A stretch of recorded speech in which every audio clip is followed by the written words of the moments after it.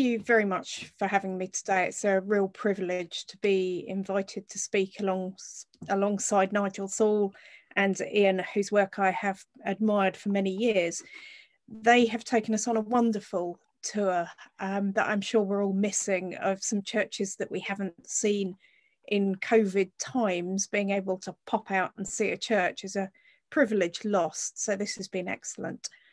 Um, I'd like to build on some of the work that they have presented to you today. They, they have considered a lot of material artifacts, um, such as paintings and windows and fonts and actual buildings. And these are really wonderful ways to get an insight into the medieval experience. And I'd like to use the paintings just to think about um, not only what do they look like, but what were they actually for? So one of our biggest difficulties when we look at medieval art is as the picture on screen now, we appreciate it as a background picture. Our modern interpretation of art, we're so used to seeing pictures um, that perhaps we don't always remember to look at them as a medieval person might have done. Um, the picture you see on screen, I think it's all of us in our coffee break. Um, but that looks like a person drinking. But what was it actually used for? Um, we tend to take an art appreciation viewpoint and look at things from the basis of style and colour and school of production. And these are incredibly important issues to being able to understand how art became into the church and what that church meant to people in terms of patronage. But is it enough? Do, do we actually then know what it's for? So I'd like to remind us to look at the art in its context. So uh, moving on, and moving on, this is the church at Hardham. It's in Sussex. I apologise for the deviation from the Marcher territories. But uh, Nigel Saul himself, in his 2017 book, reminds us that religious art is a religious context. So, this is the church, and this is what people would have seen as they came to the church. So, isolating it and looking as a picture doesn't quite give us the experience that people had. They were in the church for a reason. They were looking at the church for a religious reason and being present there because of those, those religious feelings. So we have to remember that as we look at the art. Many of you will undoubtedly be familiar with the theory of wall paintings as books of the illiterate. Um, and this is a very valuable theory indeed. It reminds us that the medieval people um, were not literate readers in the main. Our laity, some of them had functional literacy. They could read their documents for their land or the tides, but they, they couldn't read as we casually pick up a book and read. And the availability of that written material wasn't so much. So pictures became much more important. And let's remember, you wouldn't have had pictures at home. I'm going to put us all in the medieval peasant class, and I apologise to anyone who doesn't feel they would have been a medieval peasant. Um, but we wouldn't have had pictures so much at home unless we were noble. So, as an ordinary uh, member of the laity coming to church, this decoration would have been quite unique and special to us. Now, the, as a book of the illiterate, does it tell us the story? Yes, yeah, very much so. In many of these paintings, um, we see some of the passion cycles, and that reminds us of the story of the passion. But again, is that enough? Is that is that why people put a painting on the wall? So we dive into what would you have experienced as you stand in front of the painting. And this, these paintings will help us step into a medieval shoes and experience their religion. So I'd like you to come with me, first of all, and we're going to visit Byford Church. We're going to stand in front of this painting. Uh, this is St. Margaret. Um, question, obviously, how do we know it's St. Margaret? Well, for identifying medieval saints, it is very much all about the attributes. So here we have Margaret's book, and very faintly we have her holding a cross staff. Now, this is very much like the staff that you see depicted in pictures of Christ harrowing hell. It's a long staff, a cross on the end, and often she's seen poking it into a dragon's mouth. Um, it's actually a hell mouth where we say dragon we mean the mouth of hell. Um, so we know this is Margaret. It's fairly high up, you can see from the angle of the photo. Um, this allowed an altar or statues to be put in front of it. Here, I think it's an altar, would have been in front of it. And altars often against the wall rather than pulled forward for someone to stand behind. So you've had your altar against the wall, statues in front of it. This is a little space dedicated to Margaret. And we should always always think about where is a painting when we see a church? Where am I standing? Am I standing in the nave? Is this a lay position that I, as an ordinary person, could have stood in? Or am I in the chancel where it might have been a far rarer event for me to be allowed in there? So this is By- Byford's Margaret. So that, that doesn't tell us a lot about live religion. To, to understand how you would have used Margaret, we need to know a little bit more about her because um, she just seems to be an ordinary, that's a nice picture of a saint. Let's all remember to act in a holy way. But again, not enough. So I'm just going to take a quick diversion and we're going to go to Charlwood in Sussex. And this is the life of Margaret. So let's just remind ourselves of Margaret's life story. Now, she, she didn't have a great time, obviously, to end up as a saint. So, Margaret was a young Christian virgin who was propositioned by the pagan prophet Olybrius. Um, she rejected his advances and rejected uh, his invitation that she should worship his pagan idols. Unfortunately, didn't take rejection well and threw her in prison, where she is subjected to a range of tortures um, including there's some fairly graphic photos, uh, pictures, sorry, photos, uh, pictures of her being hung by her hair. But the key torture that Margaret is, is famous for is this one. Um, and you'll see here Margaret entering the jail and then being swallowed by a dragon. Um, terribly unfortunate, but Ma Margaret being faithful and uh, resolute in the face of difficulty makes the sign of the cross and bursts free from the dragon. So she is delivered safely. Unfortunately, of course, by this point, her torturers are getting rather fed up with her difficult prisoner and uh, lop her head off, at which point her executioner dies as well. So she is clearly sanctified at this point. And as she dies, she asks uh, God for a special favour. She asks that anyone who calls upon her or reads the book of her life will be granted salvation. So now we know the story of Margaret's, uh, Margaret's experiences. How does this help us interpret the painting um, back at Byford? So here we see the book again. So we're referencing back to the book. So this gives us part of the clue, but knowing her story tells us that we should be looking at um, at that experience to tell us what people did in front of it. Margaret's key torture was uh, the swallowing by the dragon, and she was safely delivered from the belly of the dragon. It made her, as you probably all know, the patron saint of childbirth.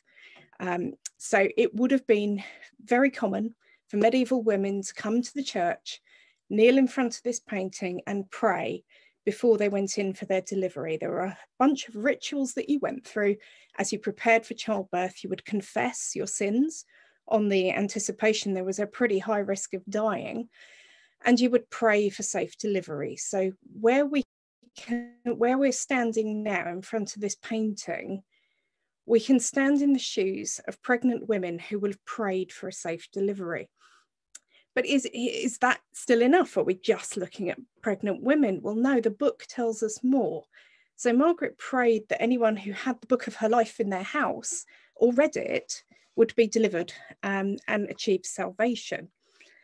This book here that she's holding is a is an image of a book that would have been accessible to a non-literate population. So remembering that most people would not have had a book in their possession, even the nobility owned a very limited set of books.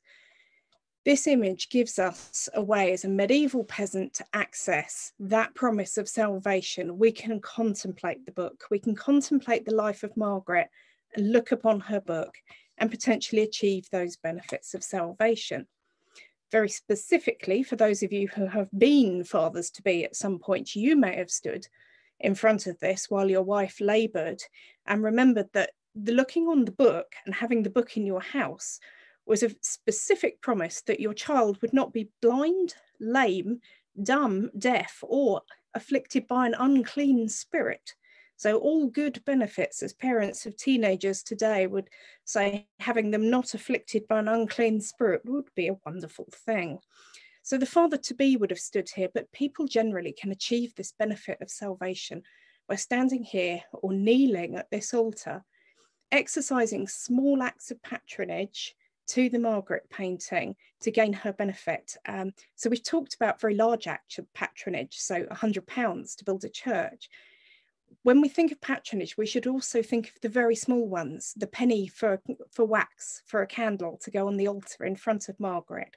It was often common to leave your rosary beads when you died to your favourite statue or image. And these little acts of patronage are as close as the lower tiers of society can get. And they would have been done often to a painting. It, it's very interesting that we have almost no records of people paying specifically for the paintings themselves, but we have huge amounts of records of people giving wax or a penny or a robe um, or a piece of cloth to images within the church, some of which would probably have been paintings. So in front of this painting, you may have conducted your own small act of patronage, paid for a candle, knelt here and prayed for deliverance. And uh, this is this is a wonderful moment in front of this painting where we too can stand in front of it and just experience that tiny slice of life in medieval Byford that day. So moving on, I'd like to take you on for another tour, another church, another little slice of medieval life. Let's go to Michaelchurch ex Escley. Um, we're in the nave here, we're just entering the nave. To your right is the main door. And to your left, as you come in, you will see uh, a painting um, of a most peculiar theme. Now, this theme has been the subject of much debate over the years. So let's have a closer look at the painting. What we are seeing here with the painting is we have a figure of Christ, mainly naked, wearing a loincloth. Um, I hope you can all see where I'm highlighting Unfortunately, Herefordshire wall paintings in particular have not survived well. The uh, climate and stone do not favour wall paintings in that part of the country. Um, and surrounding Christ, we have lots of images of agricultural implements, tools of work. So we see some shears here, we see a little spinning wheel, we have an axe, lots of the tools of work. And this um, gave rise to the initial interpretation of this painting. It was felt to be, and you'll find this, if you even Google it, you'll still find paintings listed as this, Christ with the instruments of toil, or Christ of the trades. And it was thought that this painting is Christ blessing the instruments of labour. So far, so good. That sounds pretty nice. Unfortunately, a similar painting was found in Italy and it had a little textual explainer. And that, that radically changed our understanding of what this painting actually means. And it became clear from that that far from blessing the tools of labour, it's actually warning against using these tools of labour, particularly on holy days. So this painting has now been rechristened, sometimes known as the Sunday Christ, but more often known as the warning to Sabbath breakers. So slightly more menacing interpretation of this painting. We have a warning not to do something. But as so often in, in the paintings, are, are we absolutely sure that what we're looking at is what we think it is? And the devil is always in the detail with wall paintings. Um, this is where you need to get as close as you possibly can and turn every light on when you go to a church to really appreciate the painting. So with a, a warning to the squeamish, I'm going to take you to a close-up of a Sabbath breakers at West Chiltington. Here uh, we can see very clearly from a slightly better survival that we have the tool impaling Christ and the blood dripping from it. And here we have the shears wedged firmly into the leg and the blood dripping. So th there is little doubt about our interpretation these tools are definitely inflicting the wounds of the passion again. So going back to Michael Church Esclay, this tells us what tools they were using that might have inflicted these wounds of the passion. So the, the first thing we can get back into medieval life with here is standing in front of these what tools were busy in using in that village at the time. So we see a whole range of tools here. The mechanics of daily life are shown to us in this painting. And this is fascinating, apart from the religious impact. But when you remember that you're a medieval um, villager and you have just entered your church and you see your own tool of the trade on this wall, impaling Christ, this is a warning to you. And we can imagine the furtive little looks that people may have given this painting as they recall that their plans for the rest of Sunday to maybe catch up on some spinning or do a little bit of work were perhaps not quite what the church wanted um, and perhaps might be a sin. So even as you come through this door, it, it's wonderful to walk in the footsteps of people who may have looked away a little bit and said, oh dear, I, I really do need to do that on Sunday, but I, I guess I shouldn't. And we have to remember what a holy day was in medieval era. It was much more a day. Um, our modern experience of church on a Sunday morning is a little bit different to how medieval people would have experienced their religion as wanted by their bishops. Um, it was hoped for that people would attend Mass in the morning, stay for a sermon, which often happened afterwards, ideally do some more prayer at home. And particularly for the gentlemen, you were reminded in a number of instructions that when you eat your dinner, you should be educating your wife and children on the theme of the sermon to make sure they've understood it and providing additional religious instruction during the meal.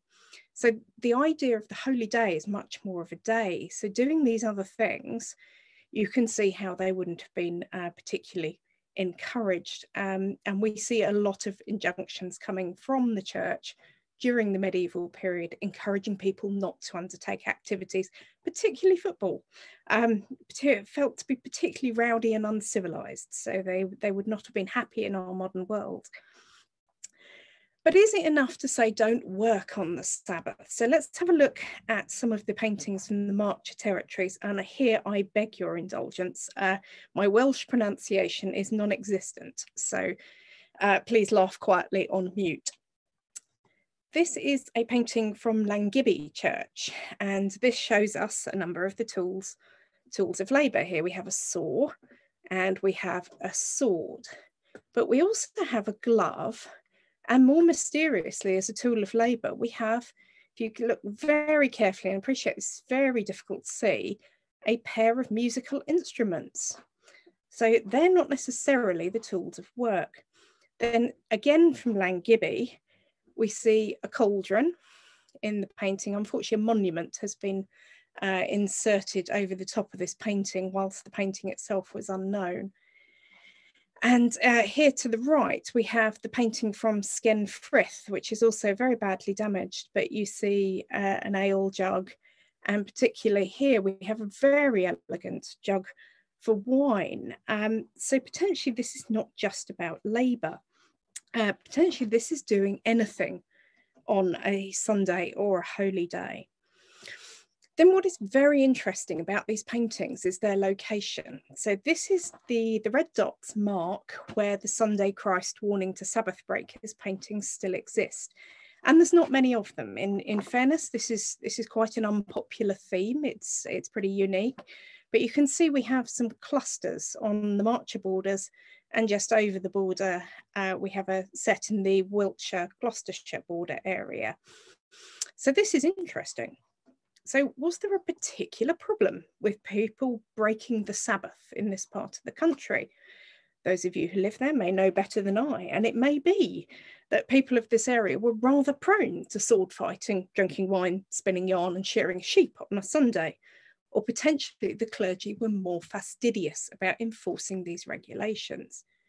But the documentary records don't bear this out. When we look at complaints and visitation records, which talk to us about the misdoings of people in the parish, we see as many complaints in these dioceses about breaking of Sundays and people not attending church as we do in dioceses like Norwich, where we don't see any of the warning to Sabbath breakers themes at all.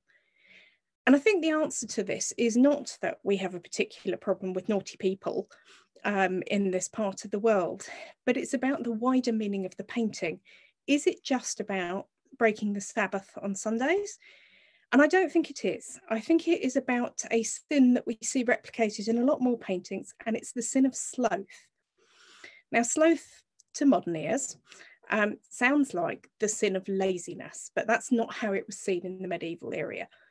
It was the sin particularly associated with spiritual neglect, spiritual laziness. St. Thomas Aquinas uh, defined it as a failure to love God with your entire heart. Now, that's pretty difficult to depict on a painting. So, where we do see it depicted, we see it as missing church. So, this is a painting of Sloth um, from Llancarfan, uh, St. Cadoc's Church. And here we see our sinner sitting up in bed, failing to get dressed. The devil clearly with his hands on him under the devil's thumb, particularly nice devil, this one. But what is he doing? He is not attending church. We can see the church here and the bell being rung to summon him to church, and he isn't there. So, this is about spiritual laziness. And it's interesting where this painting comes from. This is a small section of the theme of the seven deadly sins at St. Cadoc's. This is a commoner painting than is commonly thought, the Seven Deadly Sins is one of the morality genre of paintings, which fits with Sabbath breakers, Seven Works of Mercy, Seven Deadly Sins, and a very rare theme, the warning to swearers, uh, which sees Christ's body dismembered by people swearing. Um, also, the warning to gossips, little paintings of two women with their heads together talking in church. But the seven deadly sins is a common theme. It's, it's thought to be rare, but there's actually 56 of them to my current count. And this was the theme of my master's research, which makes it more popular than paintings of St. George. There are more seven deadly sins than St. George's. So we have to wonder why that theme was so popular and how the moralities were used in daily life. So let's just look at what were the seven sins um, and what do the paintings look like.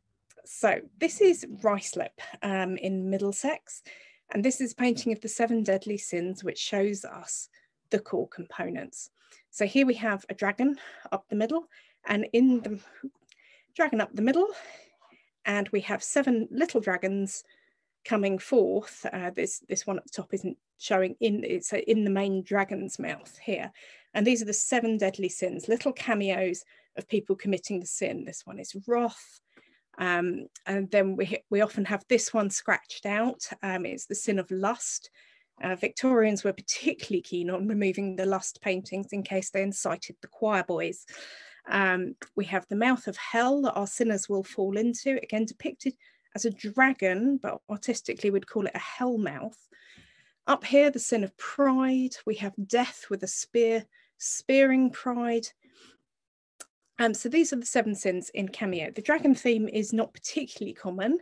We see more of the tree theme. This is a painting at Hessett, which has the Sabbath breakers below. You can just see it's very badly preserved, but you can just see at the very bottom we have some of these tools and there is a small uh, Christ figure in the middle, but above we see the seven sins. So we see a clear association spatially between the seven sins and the Sabbath breakers. So the tree is quite common, particularly in East Anglia.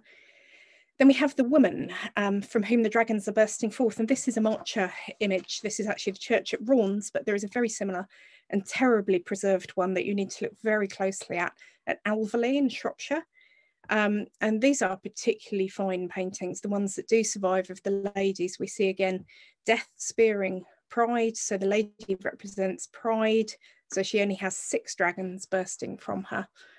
Um, and we see the little cameos here again. We see the lust, um, and we have little people in the dragon's mouths representing what is going to happen to you if you keep sinning. But this is this is one of the best, and um, obviously because it's one of the best, it has a Mortimer connection. Um, this is Trotton Church in West Sussex. And here we are looking at uh, the seven deadly sins around the central male figure. Um, you see my image from the very first slide. It is not, in fact, coffee break. It is the sin of gluttony. Um, you see him drinking the wine. It's often depicted as a drinking sin, which is one to remember for all of us thinking about a glass of wine on Saturday night. Um, we see these little devil mouths with our cameos in them. To the right, we see the seven works of mercy. So around a figure of virtue, we have the little label telling us which for each virtue is. And these are the seven works um, of charity. So visiting the, the prisoner, um, taking care of the sick and burying the dead.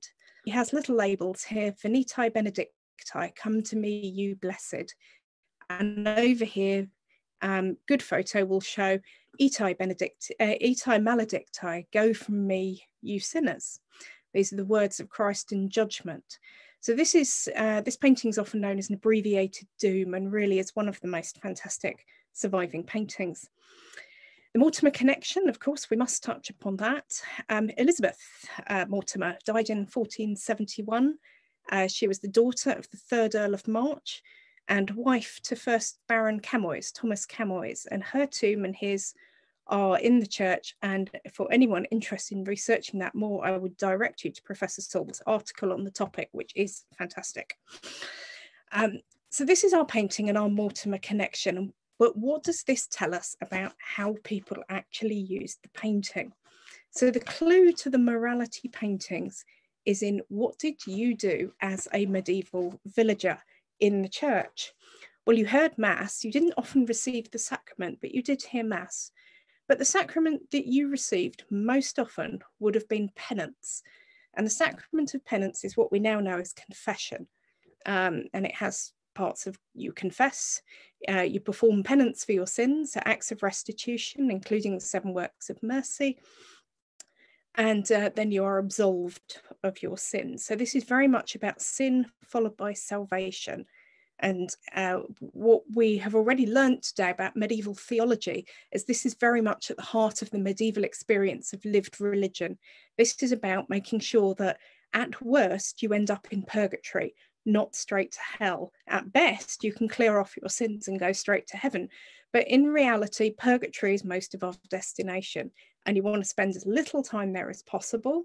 And you mitigate your time in purgatory by performing penance. So you confess your sins, you show true contrition.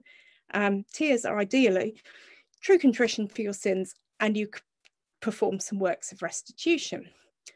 All very good. This painting reminds you of those, but how does it actually get used? Coming to the church, you might have expected that you would confess your sins in a private manner. I think we are all very familiar with the medieval confessional, uh, with the sorry, with the confessional booth um, nice and private. In you go, curtains, doors, um, quiet confession to the priest. But this is unfortunately not the way it was done in the medieval period. Uh, it was very much required to be in the open. And the wording is very interesting, and I wonder if this is the source of the modern phrase. It says it must be at the sight of men, but not at the hearing. So you need to choose a, a place in the church to be seen but not heard while confessing. And what these paintings have very, very strongly in common is their location in the church. And we talked about location with Margaret. It is even stronger here. The vast majority of Seven Deadly Sins paintings are, uh, are on the north wall or the west wall in the north corner. Um, they are all at the back, down in the west corner, except for those where the layout of the church requires them to be different. And Trotton is a very interesting example. The whole of the Trotton painting scheme is backwards. So the, the uh, seven deadly sins are on the south of the of the west wall, and the seven works of mercy are on the north of the west wall. There's a really good reason for that, and Trotton is one of three exceptions. But uniformly, they are in the dark back corners of the church. And let me take you briefly to South Leigh in Oxfordshire. This is Seven Deadly Sins, tucked in the back of the north aisle, as far to the back as you can get from the door. So I'm standing, when I took this photo, I'm standing in the main doorway of the church. And again, here at Little Horwood, I'm standing in the main doorway. It's a small church and it's as far to the back of the north wall as possible. And I think this tells us where the place of confession was. And the paintings would have provided a very useful aid memoir because there were two attributes to make your confession good enough to buy you some time off purgatory. It had to be complete. You have to have remembered every single sin you've committed. If you forget one, there were many, many stories of the consequences of forgetting even a little sin, that you would not be absolved and you, you would go indeed to hell and have to be rescued by either a miracle or the prayers of your family. So, really important to have your confession complete. So, you can imagine the utility of working your way around the seven deadly sins paintings, ticking it off. Have I committed lust? No. Gluttony? Well, Friday night in the tavern. Um, envy? Yep, not so much. You can tick your way around and achieve a complete confession. It also has to be ordered. And these paintings give you that, a nice clear order to talk to the vicar.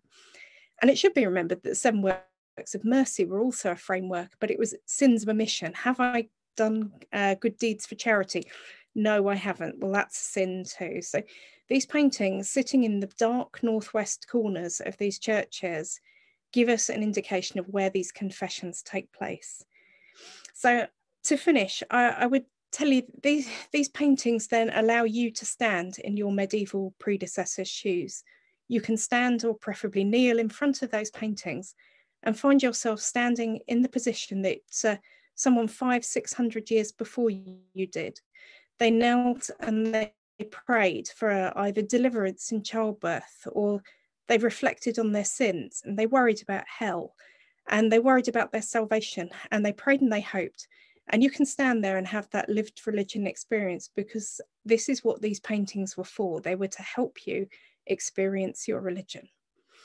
Thank you for your time.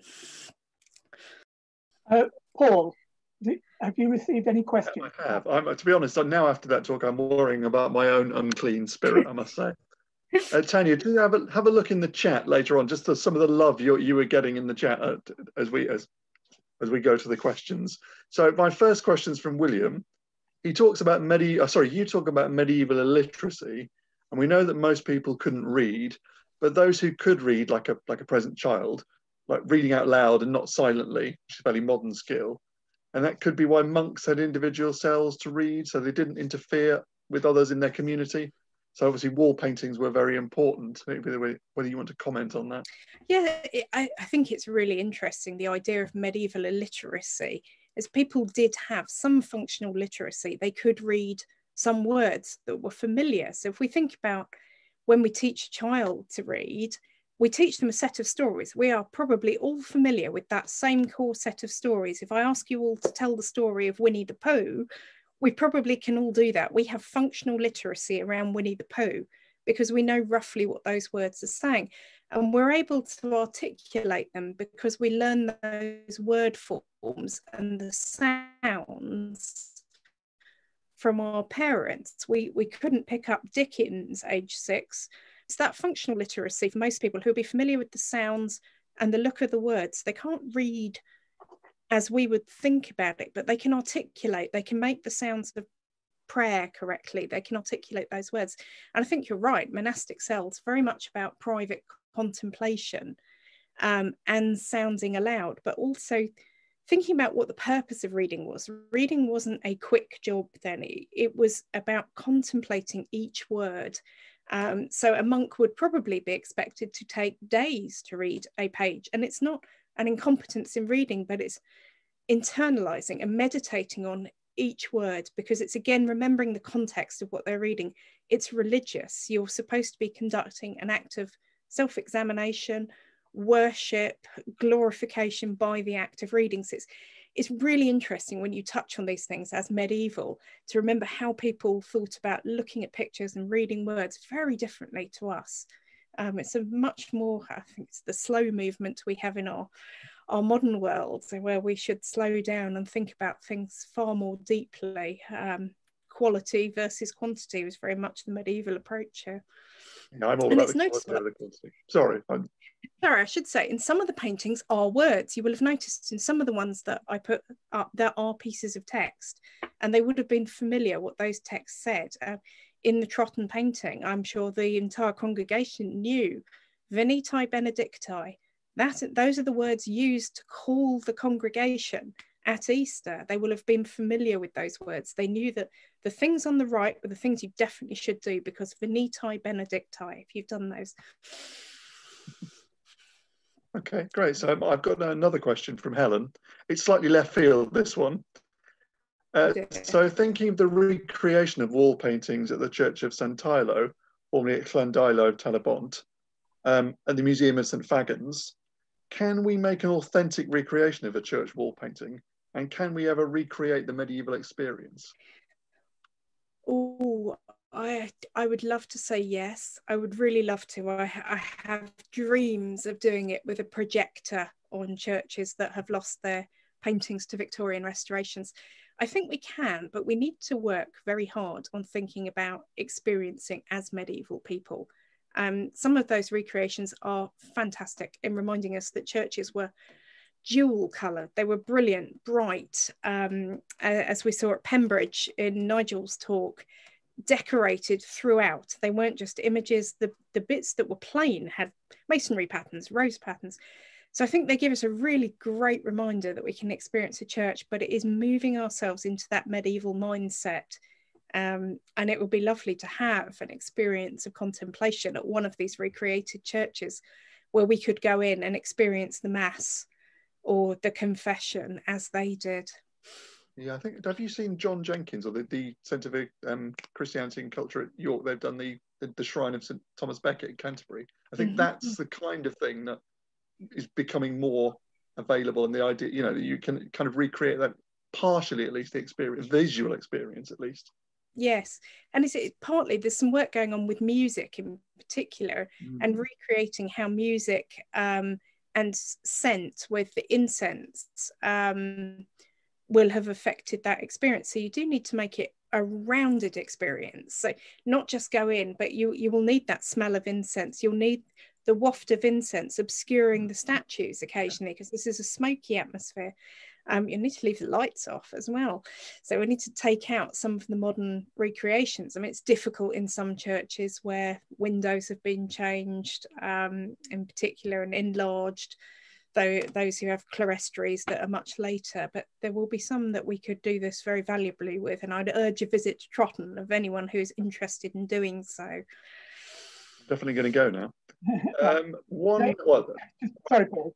Um, Jane has commented that uh, St Albans Cathedral recreate one of their images during a guided tour, which is fantastic.